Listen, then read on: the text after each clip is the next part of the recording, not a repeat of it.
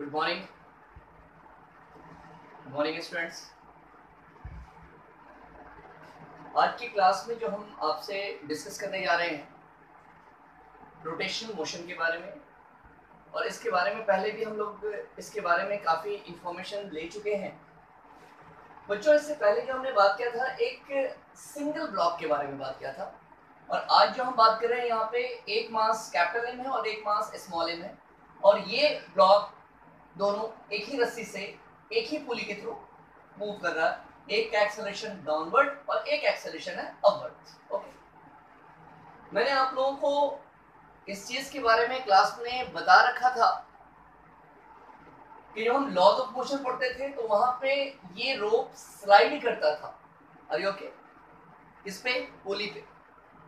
But यहाँ पे जो हम बात करेंगे बच्चों, कि यहाँ पे ये पुली रोटेट कर रहा है। और वहाँ पे पुली रोटेट नहीं करता था, बल्कि पुली के ऊपर रोप स्लाइड करता था। समझ में आ रही बात? यहाँ पे रोप स्लाइड नहीं कर रहा, बल्कि इस पुली को रोटेट कराने का काम कर रहा है। तो इसमें एक लीनियर एक्सेलरेशन है ब्लॉक का, और साथ साथ रोटेट कराने की वजह से टेंशन फोर्स के इस पुली के अंदर भी एक एक्सेलरेशन आया है।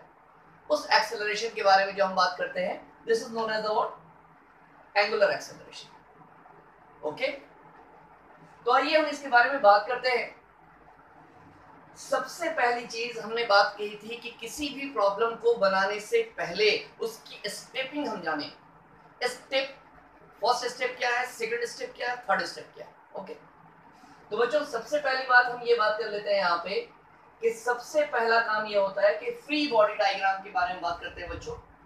D of mass capital right तो आप देखेंगे यहाँ पे, ये बॉडी है, इसका मास m है, और ये a एक्सेलरेशन से नीचे की तरफ़ जा रहा है। पता है हमें जी यहाँ पे आपके पास टेंशन ओके फिर मैंने ये बोला था कि सबसे पहला स्टेप ये होना है कि जिस डायरेक्शन में बॉडी का मूवमेंट हो रहा है, हम क्या करेंगे यहाँ पे? Newton second law. Newton second law में क्या होता है? कि force of resultant is equal to mass into acceleration. Okay. Body को नीचे ले जाने वाला कौन है? पता है आपको? M G minus T is equal to बच्चों M into A right clear अगर मैंने बात किया आपसे यहाँ पे F B D of mass small M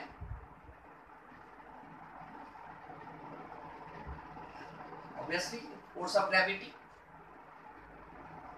tension okay but हमें एक चीज़ का ख्याल रखना होगा। जब हम लॉज ऑफ़ मोशन में पढ़ते थे तो वहाँ पे रोप के स्लाइड होने की वजह से, आप मेरी बात समझ रहे रोप के स्लाइड होने की वजह से यहाँ और यहाँ, हम टेंशन को एज्यूम सेम मानते थे, यहाँ पे भी टी लग रहा है और यहाँ पे भी टी लग रहा है राइट लेकिन यहाँ पे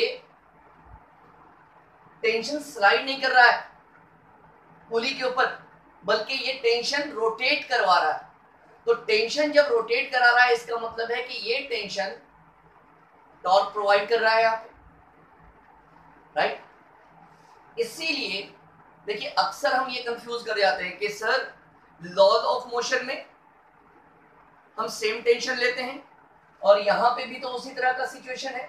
यहाँ पे भी तो ये रोप और ये रोप है तो यहाँ पे हम T1 और यहाँ यहाँ पे T1 और यहाँ पे T2 क्यों लेते हैं? तो फ़र्क इतना होता है कि वहाँ पे स्लाइड की वजह से और यहाँ पे रोटेट करवाने की वजह से हम टेंशन को एज्यूम T1 और T2 अलग अलग टेंशन मानते हैं due to the rotational effect तो आइए हम बात करते हैं आपसे यहाँ पे बच्चों।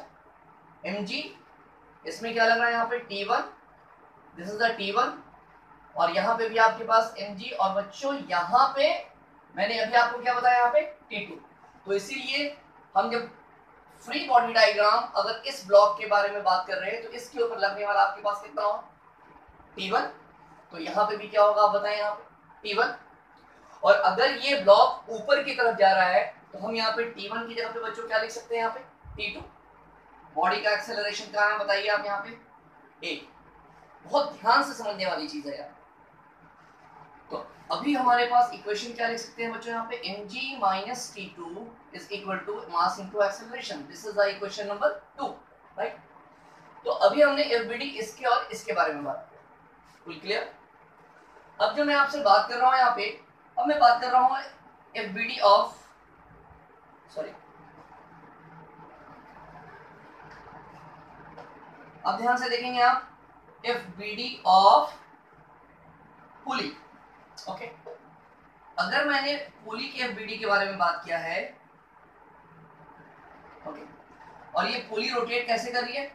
इस डायरेक्शन ओके अब बच्चों, एक चीज़ आप बताएँ, यहाँ पे यहाँ पे लगने वाला टेंशन है टी वन और आपके पास, इसमें जो लगने वाला आपके पास टेंशन कितना पहले बताइए आप यहाँ पे? T two this is the word axis of rotation जिस पॉइंट के लॉन्ग जो बॉडी रोटेट करती है? This is known as the axis of rotation और यहाँ से ये मैंने इसके रेडियस को कितना माना है? मैंने यहाँ से आर और ये भी है आर ओके तो ये जब रोटेट कर रहा है, इसका मतलब है कि रोटेट तभी करेगा जब इसके ऊपर क्या अप्लाइड होगा? टॉर्क अप्लाई होगा। तो यहाँ पे टॉर्क को प्रोवाइड करने वाला जो फैक्टर है, वो कौन है? ऑब्वियसली टेंशन फोर्स और टॉर्क इज़ इक्वल टू क्या होता है बच्चों? Applied force into perpendicular distance from the axis of rotation. आपने देखा कि ये पॉइंट इसको मैंने मान लिया O this is the axis of rotation और ये फोर्स आपको रोटेट कराने वाला कौन है? T1 और ये R, उसके क्या है? परपेंडिकुलर सिमिलरली यहाँ पे भी आपके पास टेंशन है। ये R क्या है यहाँ पे? परपेंडिकुलर ओके बट अब ये देख रहे हैं कि रोटेट किस डायरेक्शन में हो रहा है? इस डायरेक्शन में या इस डायरेक्शन में? क्लॉकवाइज या एंटी क्लॉकवाइज तो जिस डायरेक्शन में भी रोटेट हो रहा है, हम उधर की टेंशन को T1 लेंगे।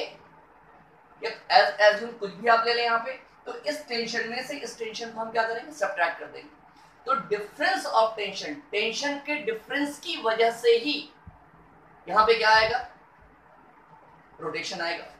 आपने जब आप किसी भी चीज़ को रोटेट कराएँगे ऐसे या ऐसे तो अगर इधर रोटेट करेंगे तो इस डायरेक्शन में। ये मानना अगर T1 तो ये T1 माइनस टी अगर आप रोटेट करा रहे ऐसे तो ये अगर ऐसे मूव कर रहा बच्चों यहाँ पे तो अगर आपने इसको T2 माना था, इसको T1 तो हम क्या लिखेंगे? यस बताइए। T2 minus T1 are you okay clear है? जिस डायरेक्शन में भी पुली का रोटेशन हो रहा है, उस डायरेक्शन में लगने वाले टेंशन को हम पहले लेते हैं और रेस्ट को तो नेट आपके पास आपके पास टॉर्क क्या हो रहा है यहाँ पे? ध्यान से देखेंगे आप यहाँ पे। One minus is equal to I into alpha what is the I बच्चों? I is the moment of inertia this आपको पता है कि अगर कोई भी बॉडी जिसके पास मास हो और वो अपने एक्सिस ऑफ़ रोटेशन पे रोटेट कर रहा है तो मास की जगह पे आपके पास क्या स्टैंड करेगा ये? I I is what moment of inertia और चूँकि बॉडी रोटेट कर रही है तो वहाँ पे जो एक्सेलरेशन आया है this acceleration is known as the what angular acceleration okay और बच्चों टॉर्क इज़ इक्वल टू आप क्या जानते हैं यहाँ पे? R cross F minus R cross F is equal to कितना बच्चों यहाँ पे? आई अल्फ़ा और मैं आपको शायद बता दूँ कि अगर आप आर क्रॉस एफ़ आपने लिखा तो कितना लिखेंगे? T one R minus T two R is equal to बच्चों कितना लिखेंगे? आई अल्फ़ा आई ओके तो यहाँ से ये मैंने क्या लिखा? हम क्या लिख सकते थे? टी आर साइन थीटा या T two R sine theta but in each case इन दोनों के बीच का एंगल यहाँ पे बच्चों कितना बन रहा है?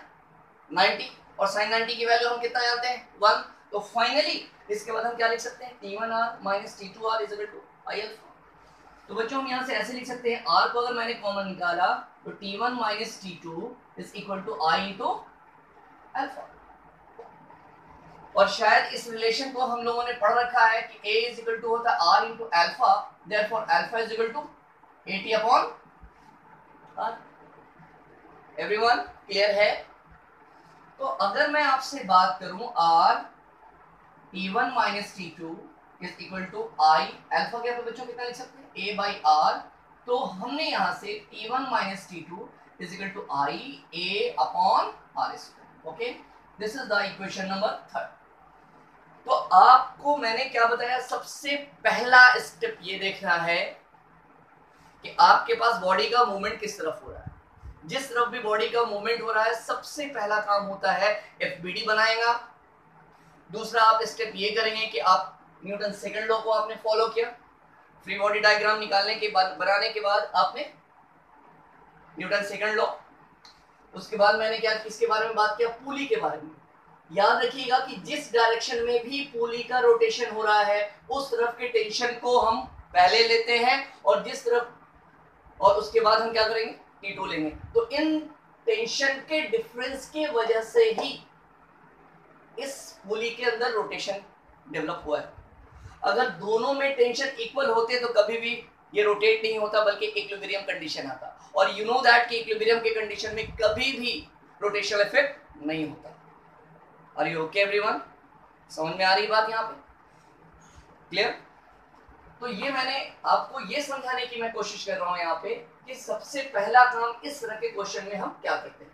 ये T1 और T2 हमने दो डिफरेंट टेंशन लेने का मतलब क्या हुआ यहाँ पे? ये रोटेशनल इफ़ेक्ट है। तो रोटेशनल इफ़ेक्ट जब भी होगा तो रस्सी तो सेम होगी बट उस रोप को हम एज्यूम डिफरेंट करेंगे due to rotational effect okay तो हमने एक, दो और, तीन, और अभी तीनों इक्वेशन को हम सॉल्व कर सकते हैं। ओके आइए हम बात करते हैं इसी तरह से।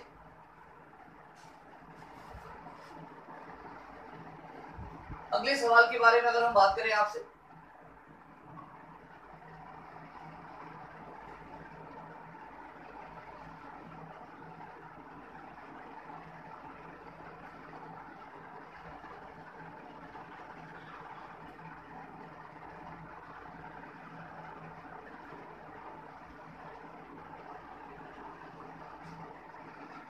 अब आप देखेंगे हम यहाँ पे हमने क्या किया यहाँ पे?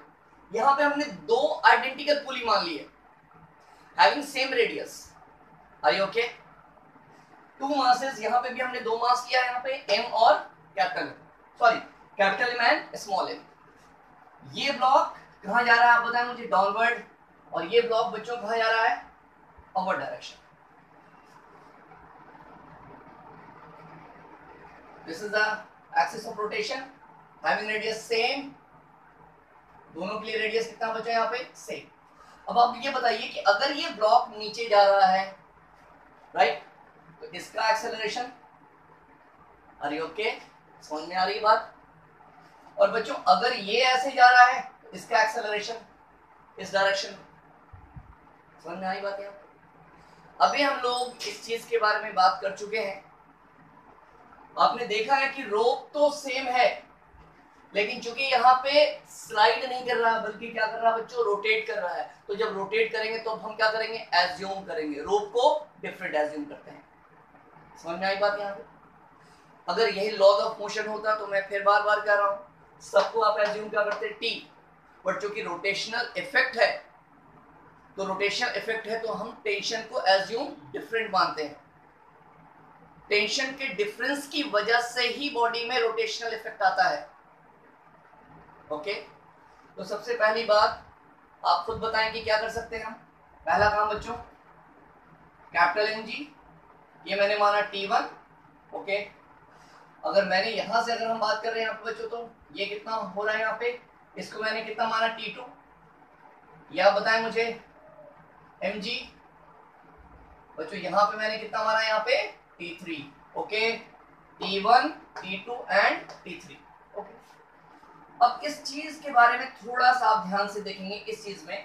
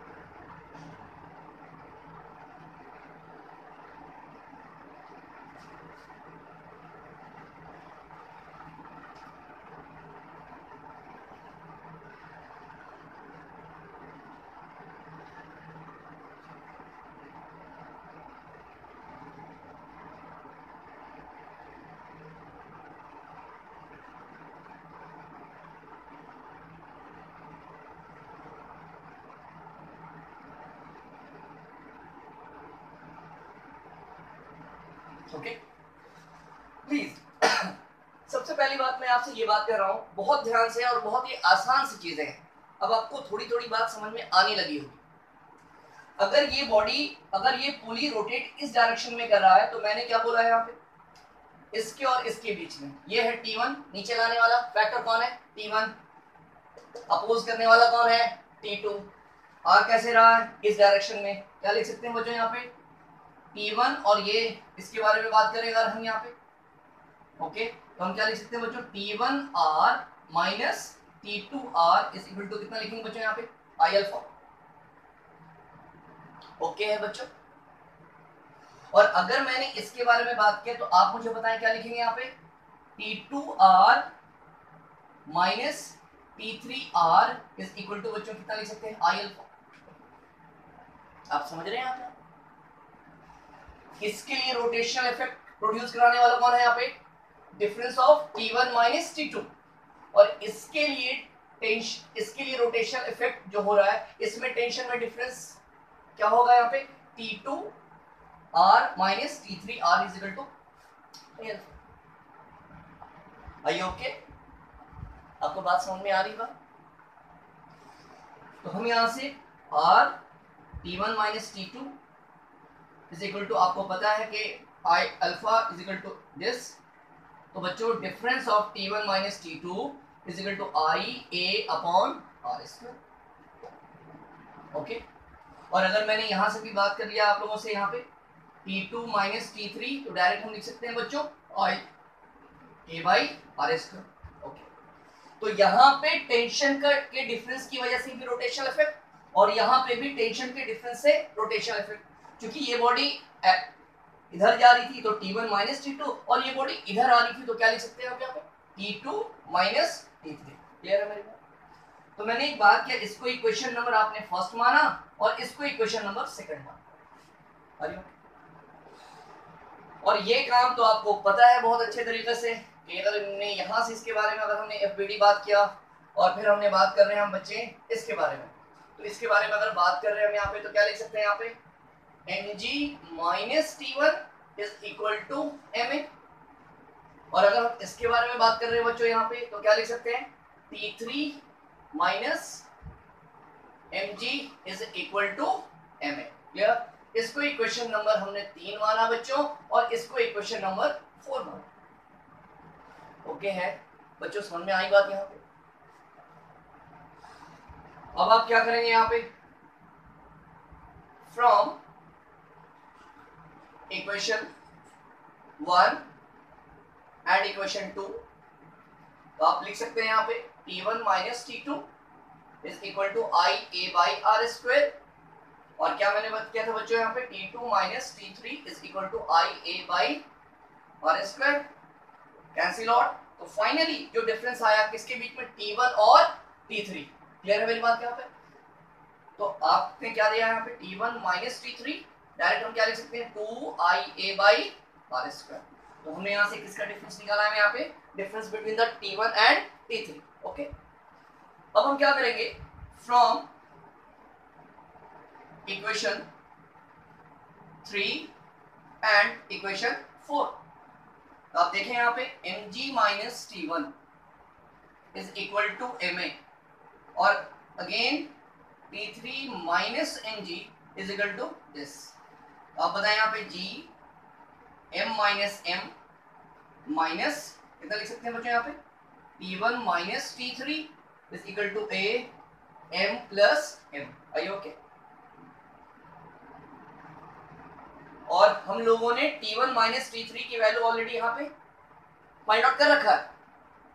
तो बच्चों, यहाँ पे आप लिख सकते हैं G, M minus M minus T one minus T three की जगह पे बच्चों कितना लिख सकते हैं आप? Two I A by R square is equal to A, M plus M. और अब आपके लिए एक्सेलरेशन निकालना आसान हो गया। आप इस चीज़ को यहाँ ले जाएँगे। ए यहाँ से कॉमन निकालेंगे। And finally you will get the result of block कितने एक्सेलरेशन से मूव कर रहा है। आप यहाँ से फाइंड आउट कर सकते हैं। तो आज की क्लास में जो हमने स्टडी की है, जो हमने बात बताने की आपको कोशिश ये की है कि रोटेशनल इफ़ेक्ट होने की वजह क्या? तो रोटेशनल होने की वजह यह है बच्चों कि टेंशन के बीच में difference due to the difference of tension the pulley can rotate okay अगर आपने दोनों टेंशन को इक्वल मान लेंगे तो कभी भी रोटेट रोटेशनल इफ़ेक्ट नहीं आएगा. ओके. तो होप सो आज की क्लास में बच्चों, आपको बातें समझ में आई होंगी. वैसे इसके ऊपर बहुत सारे इस तरह के सवाल हैं। पर सबसे पहली बात, एक बेसिक कॉन्सेप्ट होना हमारे लिए बहुत ज़रूरी है। आगे की क्लास में मैं आगे और बात करूँगा यहाँ पे। थैंक यू आज की क्लास में यही तक करते हैं। ओके